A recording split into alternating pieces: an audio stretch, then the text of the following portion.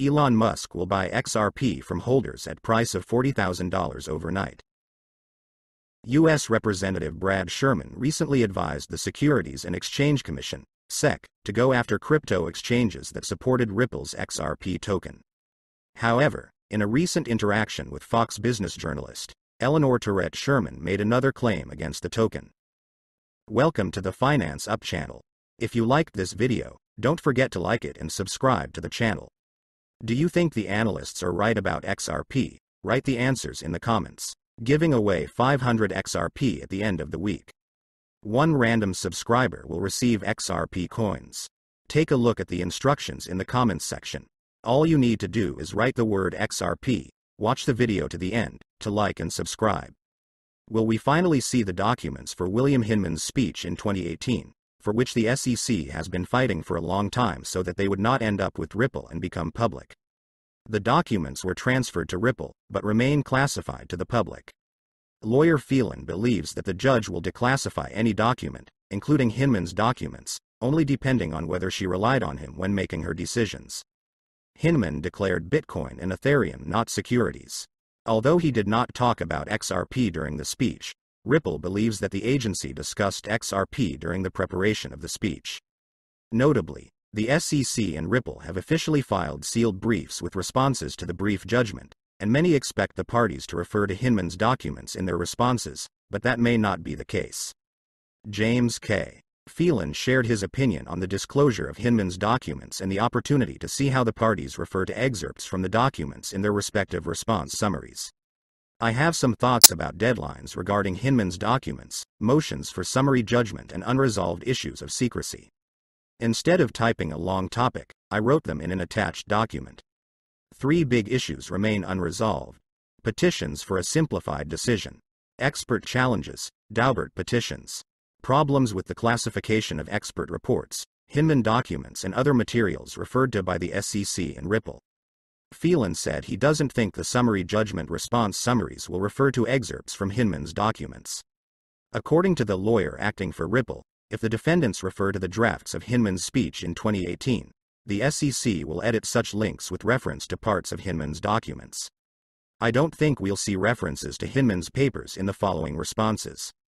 To the extent that Hinman's documents are mentioned, I think the SEC will edit these links as they have done in the past, he said. In addition, Phelan also commented on the classification of other undisclosed documents, including expert opinions and materials referred to by the parties in their petitions. The lawyer said that he also does not think that U.S. District Judge Analisa Torres will rule on all outstanding issues of classification soon after the parties file an objection to the joint requests for classification on January 9, 2023. The presiding judge in Ripple v. SEC lawsuit will not approach the rest of the case using this approach. According to Filanu, Judge Torres will declassify any document, including Hinman's document, only depending on whether she relied on him when deciding on petitions for summary trial. If a judge relies on a document in his decision, this document is automatically considered a judicial document, and then it will be disclosed, Phelan said. He also expressed his opinion on how Judge Torres can make his decision and declassify the documents in the case. The lawyer acting for Ripple noted that Judge Torres would work in the opposite direction, first drawing up a summary judgment and indicating any documents she relied on, including classified and redacted ones. However, other documents that Judge Torres did not rely on in her decision in a simplified manner will be discussed on whether the documents should remain classified, Phelan added. According to Phelan, Judge Torres had previously used this approach in the Goldman Sachs case, in which there were also closed disputes and challenging petitions for a summary judgment. David Schwartz, Chief Technology Officer of the blockchain company Ripple, believes that Massachusetts Senator Elizabeth Warren may be right when it comes to regulating cryptocurrencies. It's not an awful position to work with. At least it agrees that regulations need to change and that it is important to get crypto regulation right. In a recent article published by the Wall Street Journal, Warren argues that cryptocurrency could eventually destroy the economy if there is not proper oversight. Although the senator acknowledges that cryptocurrencies can potentially make the financial system more inclusive, she also points to the fact that history is littered with all sorts of fraudulent financial schemes that were advertised by criminals and charlatans. Warren argues that the heads of crypto projects that violate the law are no different from other financial instruments, so the Ministry of Justice should use all its strength. Warren also dealt a blow to companies engaged in the mining of cryptocurrencies, which load the energy system and increase greenhouse gas emissions. She stressed that the cryptocurrency should be subject to the same rules as other financial sectors. On Twitter, Schwartz wrote that this is not a terrible position to work in. It's not a terrible position to work in. At the very least, she agrees that the rules need to change and that it is important to ensure proper regulation of cryptocurrencies. Warren has long been one of the leading crypto skeptics of Congress. In a September interview, the progressive MP called the cryptocurrency unreliable, destructive, and dangerous. In early April, Warren compared buying Bitcoin to buying air. According to James K. Phelan, Judge Torres can make one big written decision on unresolved issues of the trial, including petitions for summary trial based on precedents. Ripple General Counsel Stuart Alderoty, who shared the news about the historic milestone reached in the lawsuit, believes that Ripple has fought well over the past two years. In December 2020, the SEC filed a lawsuit against Ripple and two of its executives, alleging that the $1.3 billion sale of XRP was an unregistered securities offering. Alderoty mentioned that the summaries of the responses would mark Ripple's final submission in his bid for the court to rule in her favor. He says that Ripple is proud of the protection it has put up on behalf of the entire crypto industry, noting that the company has always played fair with the court.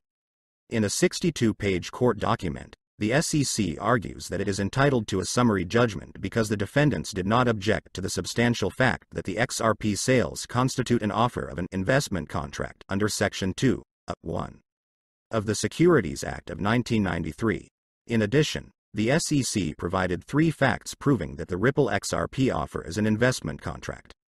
According to the agency, Ripple and its executives did not dispute that the blockchain company received $2 billion from investors in exchange for XRP. In addition, the defendants also did not dispute the fact of establishing general entrepreneurship in the Howey test.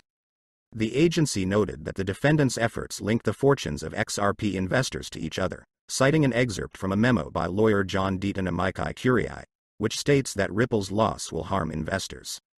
In addition, the SEC argued that Ripple did not dispute another important aspect of Howey's test the expectation of profit from the efforts of others.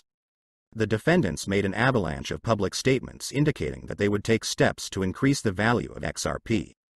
Partly because of Ripple's giant pile of XRP, potential and actual investors realized that Ripple was financially forced to do just that, the agency said. According to the SEC, Ripple's opposite argument is that many XRP investors did not consider buying a crypto asset as an investment in a blockchain company. The U.S. Securities and Exchange Commission said that this argument does not comply with the law, since the main question should be whether Ripple has forced potential investors to expect profits from the efforts of others. None of the defendants' arguments to the contrary precludes a decision in a simplified procedure.